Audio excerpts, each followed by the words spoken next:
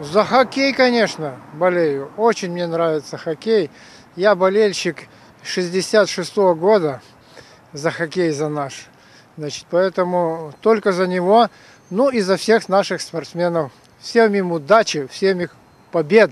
Ну, естественно, за хоккей. Почему? Ну, потому что сам занимаюсь хоккеем. И тоже там славные ребята, и они, мне кажется, всех уделают на этих Олимпийских играх и покажут, на что способна Россия. Мне очень нравится фигурное катание. Но это очень красиво. Тут как бы даже конкретики никакой не нужно давать.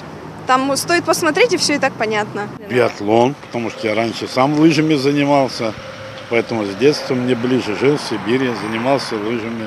Болеть, я думаю, нужно за всех, потому что все наши спортсмены стараются, чтобы, чтобы получить э, ну, какие-то медали и чтобы улучшать наше, ну, как бы положение нашей страны в спорте. Я люблю лыжи.